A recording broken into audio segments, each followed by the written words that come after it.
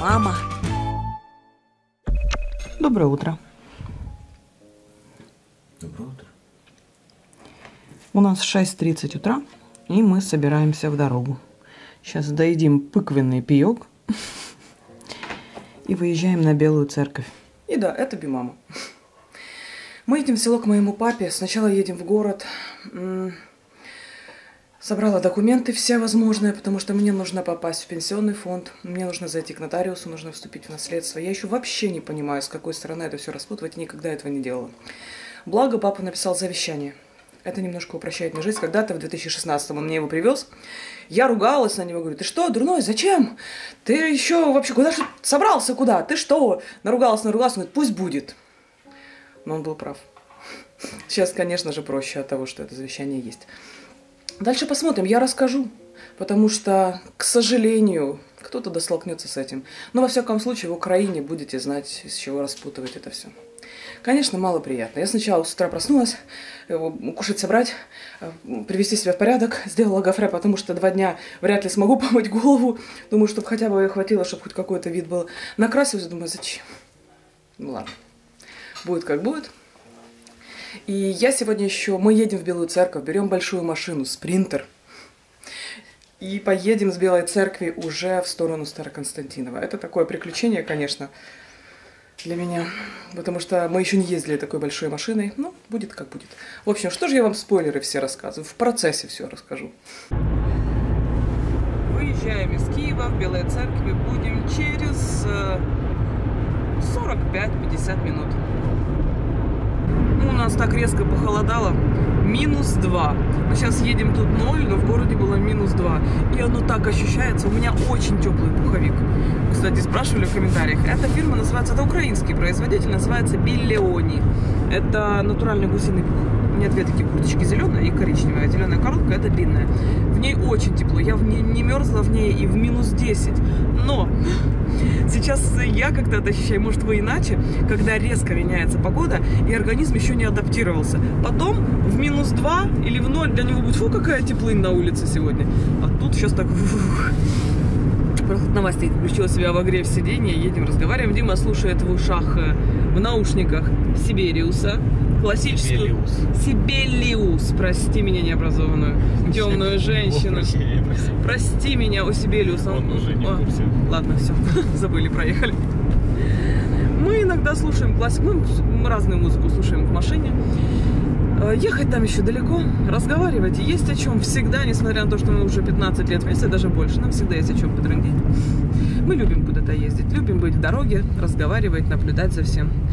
Это будет очень новый опыт, потому что действительно мы будем ехать туда на бусике, и назад будем это все вести груженным. Но будем ехать аккуратно и не спеша. Нам надо забрать все, что возможно от папы и привезти это все к нам в село. Посмотри, машина в снегу. В снегу боже, да, точно. Видимо, Прикольно. за городом она здесь Да? как бы уже что-то заморозки вот Да, ночью. да.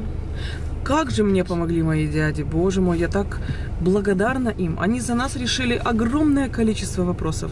Вплоть до того, что они все ов- овощи с огорода, они все перетащили мешками в погреб, сложили у папы. А там погреб хороший. То есть все готово на любой наш момент, когда мы приедем и заберем. И еще и помогут там все и привести в порядок и все погрузить. Так что замечательно, что это так. Ладно, едем, заскочим. Успеем кофе, не успеем тетя Лиса попить, не знаешь? Посмотрим. Сейчас по времени. Да сейчас скажем Ленке, что мы кофе не попьем. Знаешь, сколько крика будет? Ленка уже, кстати, тоже моя выходит из карантина. Ковид, да.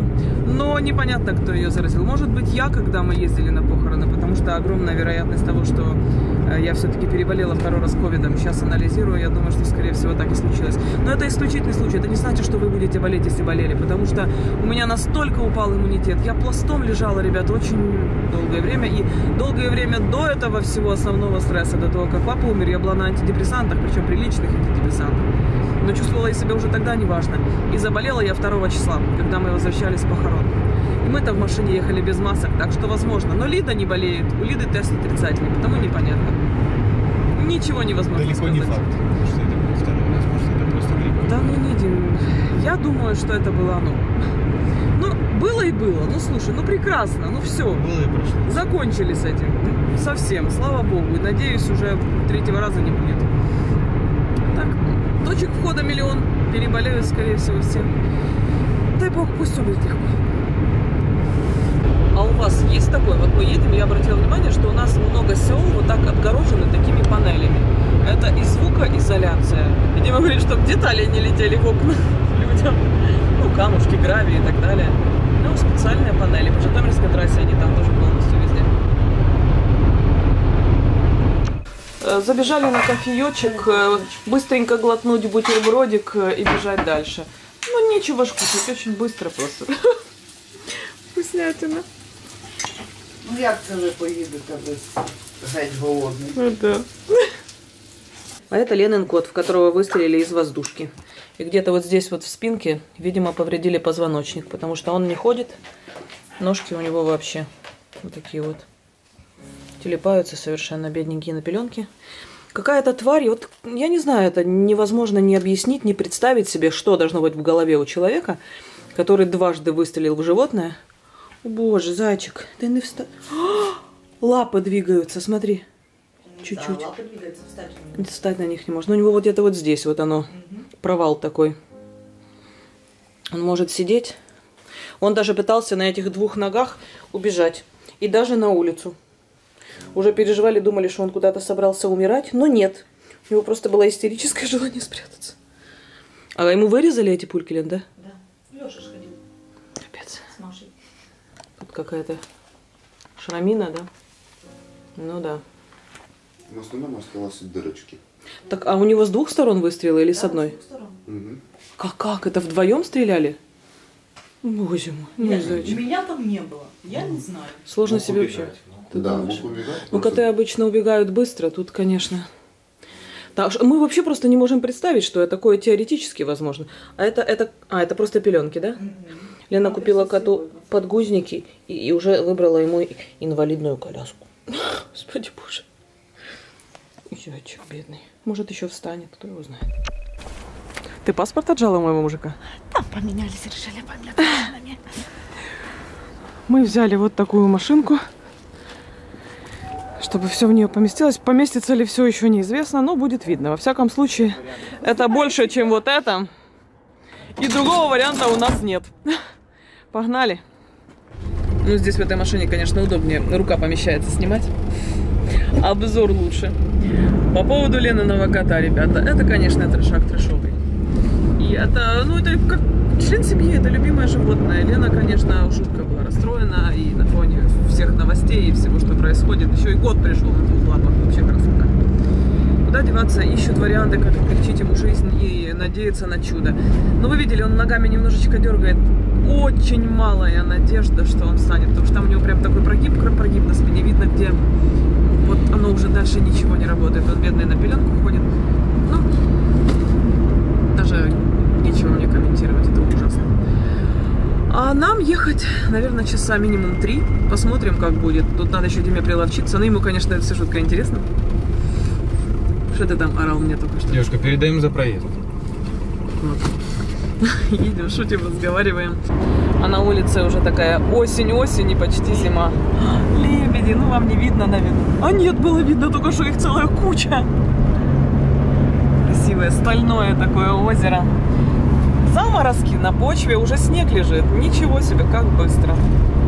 Ну, а в принципе, что быстро? Мы не, не поняли осень, вообще мы ее не увидели. В сентябре я заболела коронавирусом. Я выздоровела, заболел папа. В это время заболел Дима, заболела мама. Потом папа умер. И как-то оно все вот так, вот так, вот так, вот так, и уже почти зима. Да, как-то осень вся пролетела мимо совершенно у нас. Вот мы и приехали. Идем к нотариусу. Нотариус оказалась занята, сказала прийти нам через полчаса, она оформляет какие-то документы. Мы решили сначала сходить в пенсионный фонд, благо он здесь рядышком. Вот сейчас и узнаем, все ли документы у меня есть. Ой, привет, Староконстантинове. Пришла в пенсионный фонд. С самого утра ничего не оформляют, не работает программа, бо у них щось з інтернетом. Офигенно, у меня один день на это. То придется опять завтра ехать с надеждой, что они починят. А делают ли они что-то, чтобы починить? Очень маловероятно. Я уверена в этом. Зная, просто ждут, коли попустить. Дима пошел спросить, может, роутер им перезагрузить вручную. Так уже отвыкла от этих таких. Хотя женщина очень милая, пенсионная, и очень все подробно объяснила. Я это все знаю, в принципе, у меня все документы для этого есть. Я, по сути, могу получить допомогу на похование. Это помощь на то, чтобы похоронить человека. Ну, ее получают потом обычно. Это в размере двух пенсий. Это как помощь маленькая, но все же. Ну, у людей пенсия разная, в конце концов. А еще одну пенсию я получу аж в январе. Что, Дим? Нет, там все пробовали, там... э, там... говорит, у нас 6 камер тут, за нами следят, нам нельзя. Мы уже звонили в техническую поддержку в Киев, мы все перезагружали, все, что можно было. Ничего не работает. Вопрос, э, проблема у провайдера, у него какие-то там идут работы, и интернет не работает. Офигенно. И, а программы загружаются, подтягиваются через интернет. Вот Прекрасно. такая вот беда. Побежали к нотариусу. Так нельзя, брат, нельзя. Ну, мне уже все можно, наверное. Ладно. Сделаю как цивилизованная женщина. Боже мой, это, казалось бы, шли не быстро, но у меня такая одышка, собака. Ничего, пройдет. Мы сейчас внутри ждем, потому что там нотариус составляет документы, сказал полчаса подождать.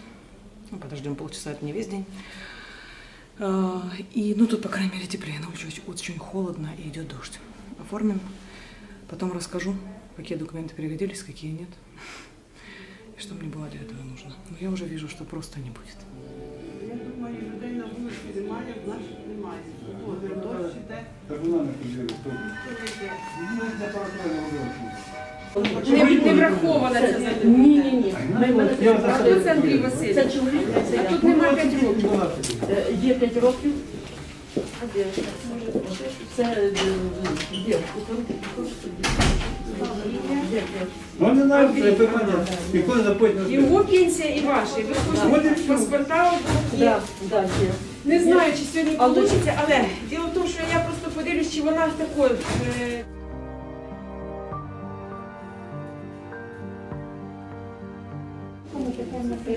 Вам, е, Петро Іванович, батько, ви не є інвалідом, ну, не маєте інвалідності. Він е, получав е, на штуку, зняли гроші Листопадеву пенсію зняли, на банк получав. Він отримав в нього карту, Ви знаєте по цієї карти? Тут от на обложиці. Дуже добре. Фух, мы это сделали. Мы взяли эти справки. Боже, какой же там нерв. Какие же там все злые, все переругиваются. Хотя девочки не очень стараются. Их так качают, те, кто работает, да? Они то срываются, то становятся очень сильно вежливыми. И опять, боже мой. И опять очень сильно вежливыми. Я им сочувствую. Там просто мы понаблюдали. Сначала сама начала психовать, а потом посмотрела, с кем им приходится общаться, насколько сложно людям в возрасте объяснить все. Почему муж- мужчина кричит, дайте мне справку о доходах жены. Он говорит, мы не можем вам ее дать без э, дору- доручения, доверенности. Она лежит в больнице в Киеве, в госпитале.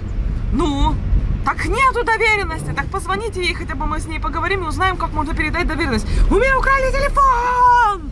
Говорит, боже, мы здесь при чем? Нет, он орал, матерился, кричал. Они не могут дать ему эту э, справку о доходах, потому что с ней можно взять кредит.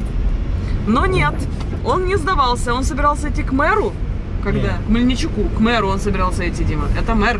А. Разбираться с тем, как девочки плохо работают. Так что я, конечно, им не завидую. Но она потом все взяла, все тихонечко сделала, спокойно мне объяснила. Две пенсии я получу по этому пакету документов. А третья пенсия, папа умер просто 1 ноября. Это получается следующий месяц. То есть еще одна пенсия должна быть. Но я ее получу либо в декабре, придя с пакетом тоже документов, она мне написала, что я чуть позже все напишу, это расскажу. Я не помню. А, либо же, когда буду вступать в наследство через полгода. И тогда уже приду, она мне нотариус даст какую-то бумажку, что я вступила в наследство, и тогда через них как-то это все дальше получается. Там уже буду распытывать. Сейчас у нас следующий квест. Мы едем на центральную почту попробовать успеть до 5 вечера получить эти две пенсии. Я так не хочу завтра сюда опять ехать. Ну, посмотрим, сложно предсказать. Староконстантинов это небольшой городок, когда-то был на 40 тысяч населения, сейчас не знаю. Ну, Ну, такой достаточно спокойный, военный. Здесь э, не меньше трех воинских частей. Две реки, девять школ. Маленький спокойный город. Здесь хорошо а, проводить детство и стареть.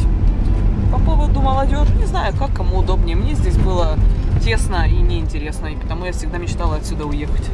Но люди живут. Мама моя очень любила этот город. Многие здесь вполне себе счастливы. Каждому свое. Такое эпичненькое место. Это почта, она находится в центре, возле круга.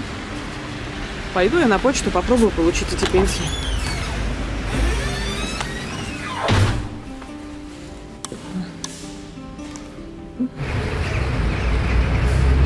Эти деньги, которые полагаются на похороны, которые выдаются государством в виде двух пенсий, я получила в течение двух минут. Да. И спасибо им за это. Пока нет музыки. Да, он уже начинает разговаривать какой-то мужчина. Такая классная кафешка, Лешка посоветовал. Это Леша. Да, да, Да. я посоветовал. Да. Привет.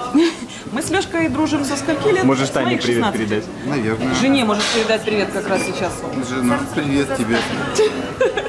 Танюха. А, вот, кстати, у Тани канал все очень просто. Я оставлю ссылочку, зайдите, посмотрите. Мы в Староконстантинове все еще допиваю кофе и посидим с Лешкой еще потрендим. Мы уже миллион лет не виделись. Да. Да. И поеду дальше уже. Все, теперь можем ехать. С Лешкой посидели, поговорили. Боже, да мы, мне кажется, еще бы часов 10 сидели, говорили. Надо, чтобы они как-то в гости приехали к нам в Киев. Лешка, это моя ранняя молодость. Совсем как молодость. Юность. Мне было лет 16, когда мы подружились и дружим до сих пор, и общались. Боже, сколько всего в жизни было. Так классно. И всегда, когда мне нужна помощь по любому вопросу. Леша, а там как, как пройти тут, как найти вот это, э, а это, а, а, пенсионный фонд, а, а какого нотариуса? Тик-тик-тик-тик, фотографики, куда пойти, еще и дорожечка, как туда пройти. Прекрасно, спасибо большое. Все, там уже нас очень ждут, Дима. Ты выстраиваешь Я- по Google да. Я могу тебя до села довести. Не, я уже все нашел. Все. Поехали мы в гости. Не хочу ночевать в папином доме, ребят. Не знаю, я не могу. Потому покажу вам его уже днем завтра, потому что... Ну, и там мы обогреватель не включим, не знаю, где что. ну, Там нет просто- обогревателя. А мы его забрали. Там есть э, группка, э, как это называется по-русски? Печь. Печь, не печь, маленькая печь какая-то такая. Ну, такая, знаете, которая узенькая, которую топят.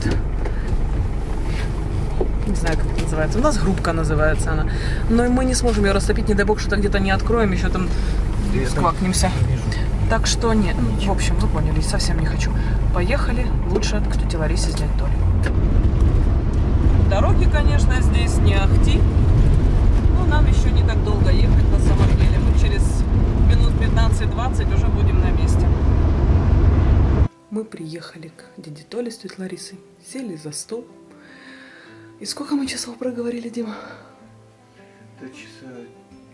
4-5. Не меньше. Да. И вообще не заметили, как прошло время. И я оставила, конечно же, это все за кадром, ребят. Я не была здесь, наверное, лет... Не знаю, сколько лет, 15. Мало что изменилось. Так приятно. Так приятно пообщаться, поговорить. Родные такие. Сейчас мы ложимся спать, потому что завтра у нас очень непростой день. Поедем туда к папе, будем грузиться, будем решать, что делать. Что забирать, что не забирать, что делать с курями, с котами. Ой, много там есть нюансов, которые надо будет решать завтра. Но сегодня можно просто лечь, поспать, отдохнуть, набраться сил. Мужчина, вы уже ждете меня? Да. Иду к тебе. Да, нам завтра рано вставать.